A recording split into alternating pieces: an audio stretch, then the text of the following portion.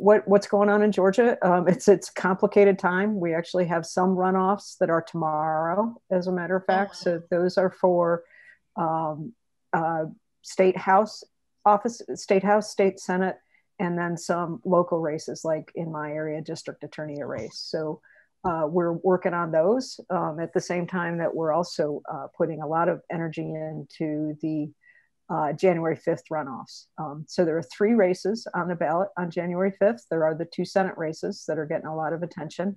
Uh, we also have a race for the Public Service Commission, and we have an opportunity to elect the first African American member of the Public Service Commission. And it's a chance for us to educate voters about how the Public Service Commission affects their pocketbook every day.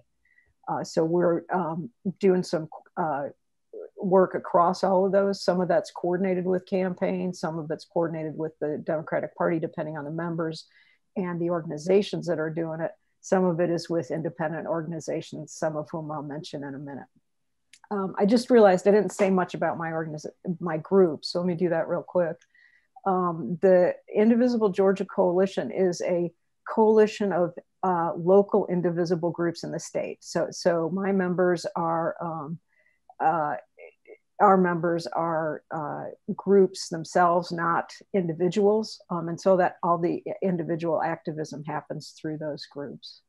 Um, so we've got uh, a number of groups in in um, Metro Atlanta area, but we also have groups distributed uh, across the state as well. Um, so we've uh, really been pleased to have the energy that came into the general election and the results we saw in the presidential, um, and then now the energy that's coming into the Senate runoffs. That yeah, it's really impressive. I mean, Georgia flipping, you know, at the at the for the the presidential race was really you know was impressive to see. Uh, obviously, there's a lot of interest now. You know, we had uh, a, a, very good story being told nationally uh, about how important Georgia was. Stacey Abrams, you know, obviously did an amazing job of telling the story awesome. and investing in the organizing. Uh, LaTosha Brown and Black Voters Matter like did amazing work just yeah. telling the story nationwide about how Georgia could flip and the story of kind of the the demographics of Georgia. You know, if you put the time and the energy in, you could get the payoff in terms of the the long term organizing. That's really really inspiring to see. I mean, obviously, the demographics of Georgia aren't the same as Kentucky, but you know the kind of the fact that that that that it was a red state, you know, mm-hmm. dependably red state, and now it is not, gives uh, gives us some hope, and that we can maybe figure out, you know, how can we uh, shift right. uh, Kentucky to similarly be in play.